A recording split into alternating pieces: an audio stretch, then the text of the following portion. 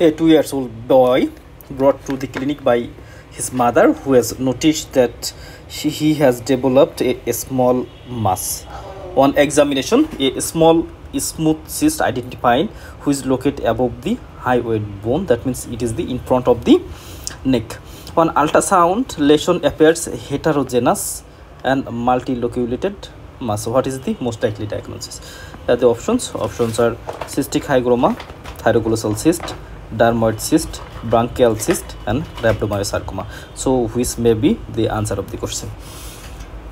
Uh, here the key point here we can see first of all uh, she has developed a, small mass and it is located hyoid bone. So it is located above the hyoid bone that is the in front of the neck.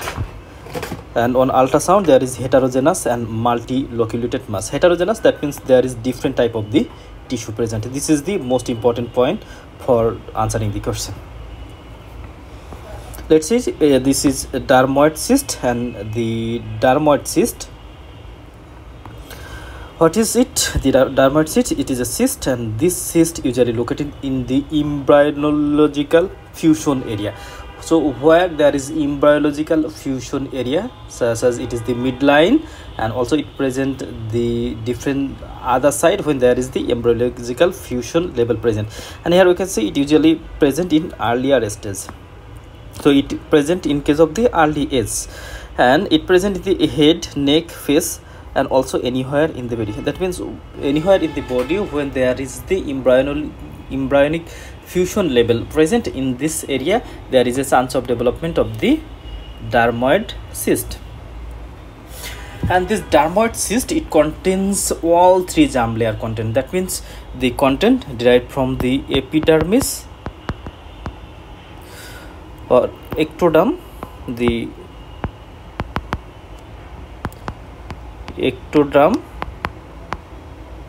mesoderm and endoderm because the dermoid it contains all the part that means ectoderm mesoderm endoderm so the content present which derived all the three layers of embryonic layer such as the ectoderm mesoderm endoderm so in this condition skin may present nail may present hair may present and other connective tissue may be present in this dermoid cyst.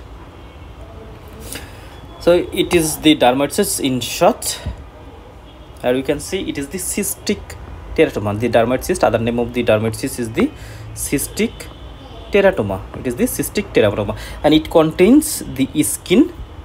It may contains other area.